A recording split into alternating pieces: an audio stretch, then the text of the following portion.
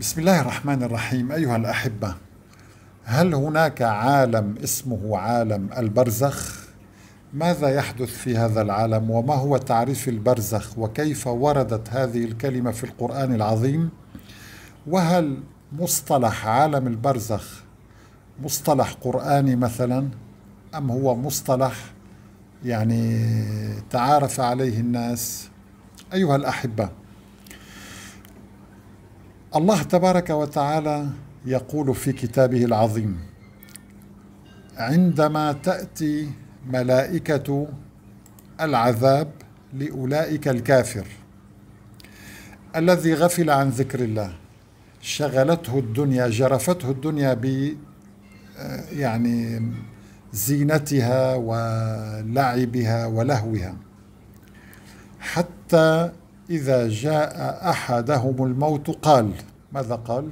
هذا الإنسان لأن الموت يأتي فجأة أيها الأحبة. حتى إذا جاء أحدهم الموت قال رب ارجعوني لعلي أعمل صالحا فيما تركت. ولكن يأتيه الجواب طبعا. كلا كلمة قاسية والله أيها الأحبة خصوصا في الدنيا عندما تقال لك هذه الكلمة تستطيع أن تعيد المحاولة. إذا فشلت في عمل هناك فرص أخرى. إذا فشلت في مثلا أمر معين هناك آه، محاولات أخرى قد تنجح. ولكن أنت الآن ستدخل في عالم جديد بعد الموت ستموت. ليس هناك أي مجال للمحاولة أو للرجوع. قال رب ارجعوني لعلي أعمل صالحا فيما تركت. أول شيء يطلبه هذا الإنسان الغافل عن الله سبحانه وتعالى وعن عبادة الله وعن الصلاة وعن ذكر الله. أول شيء يطلبه أن يرجع إلى الدنيا ليعمل صالحا. هذا دليل على أنه رأى عذاب الله. وإلا لماذا يطلب الرجوع؟ المؤمن نفسه تشتاق للقاء الله تبارك وتعالى.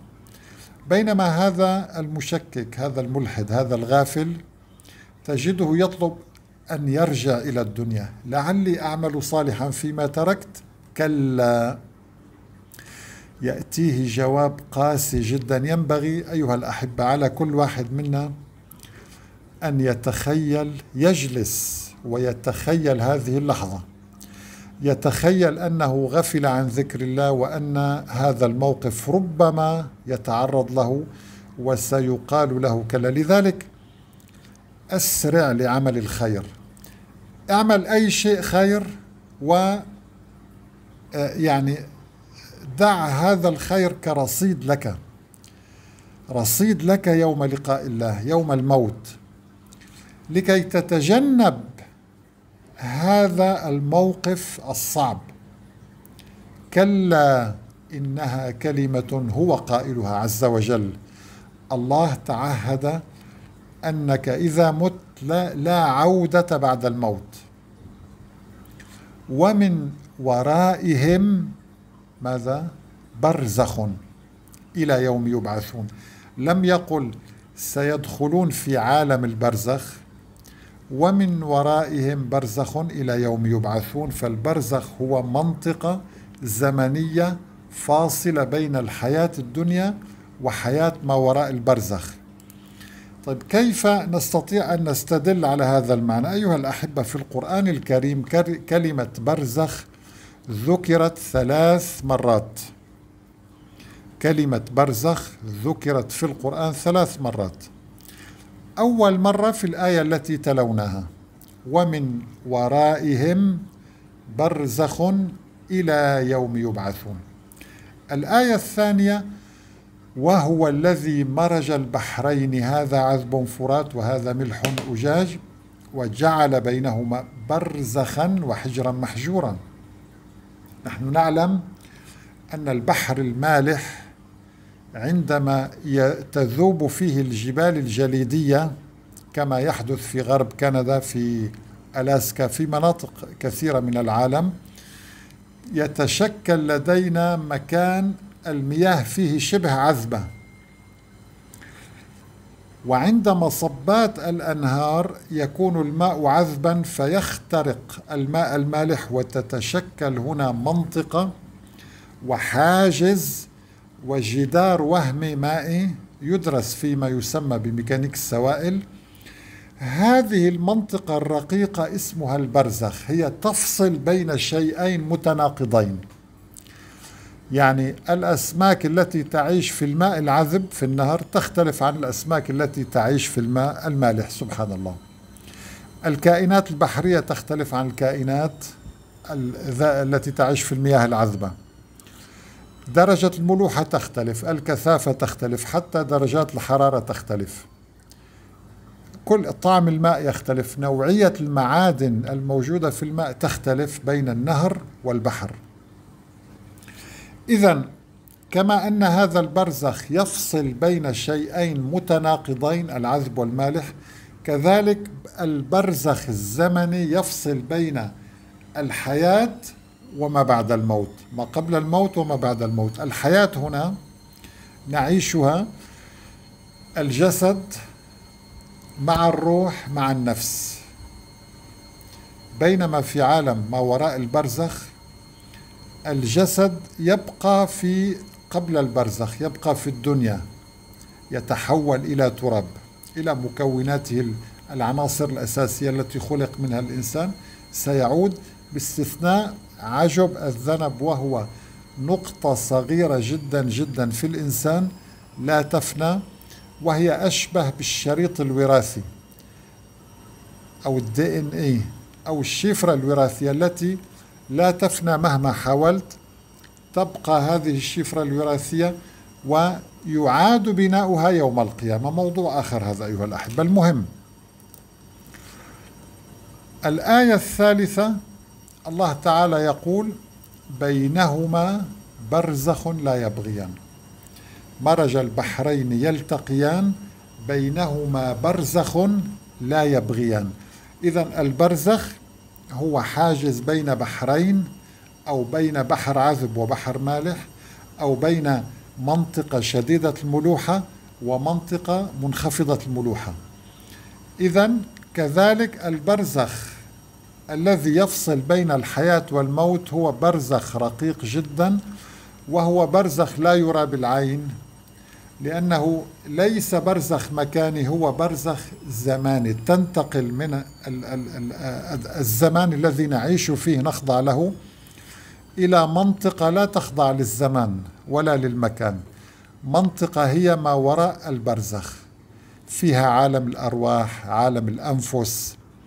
فيها أسرار كثيرة جدا أيها الأحبة. ينبغي علينا أن نتعرف عليها الحقيقة يعني. يعني أنا أتحدث شخصيا. أنا قبل كل شيء يهمني ماذا ينتظرني في هذا العالم. عالم ما وراء البرزخ. الأدق أن نقول عالم ما وراء البرزخ. لأن عالم البرزخ هو مصطلح. اصطلح هكذا يقال. ويعني لا بأس من استخدامه ولكن الأدق أن نقول عالم ما وراء البرزخ. أيها الأحبة أنا كإنسان أعيش في هذه الدنيا لدي سفر إلى منطقة معينة. فتجدني أهتم بالغرفة التي سأنزل فيها نوع الفندق نوعية الطعام آه، نوعية الحياة هناك درجة الحرارة مثلا هناك حالة الطقس. يعني تجدني أجلس على الإنترنت ليس أنا طبعا كل واحد منا يريد أن يسافر لزيارة شخص لإقامة في مكان معين للسياحة غير ذلك. يجلس يمضي ليالي طويلة وهو يتعرف على هذا المكان الجديد. ماذا سأزور فيه؟ آه، ماذا سأشتري وأحضر معي؟ ماذا كذا ماذا كذا؟ تجد ينفق وقتا طويلا. هذا إذا كنت ذاهب إلى مكان ترفيهي طيب أنت ذاهب إلى مكان لا عودة منه ولا رجعة فيه. ستقول يعني رب ارجعوني لعلي أعمل صالحا فيما تركت. سيقال لك كلا. إنها كلمة هو قائلها ومن ورائهم برزخ إلى يوم يبعثون. طيب هذا البرزخ ألا أتعرف على الحياة هناك؟ ماذا سأفعل؟ الرصيد أيها الأحبة انتبهوا رجاء. رصيدك في ذلك العالم هو الأعمال الصالحة والصبر وحسن الخلق. صبرك على أولادك على والديك على زوجتك على جارك على زميلك في العمل. صبرك بشكل عام هذا أكبر رصيد على فكرة. الرصيد الكبير أيضا حسن الخلق. عندما يسيء إليك أحد فتصبر. عندما يخاطبك أحد بعبارات سيئة فتعمل بقول الله تعالى وإذا خاطبهم الجاهلون قالوا سلاما. آه، يعني يأتي شخص ليأكل حقك ف يعني تحاول أن تتسامح وتتفاهم معه وتتجنب الغضب والإساءة للآخرين ولو أساءوا لك. هذا أثقل شيء في ميزانك في حياة ما وراء البرزخ.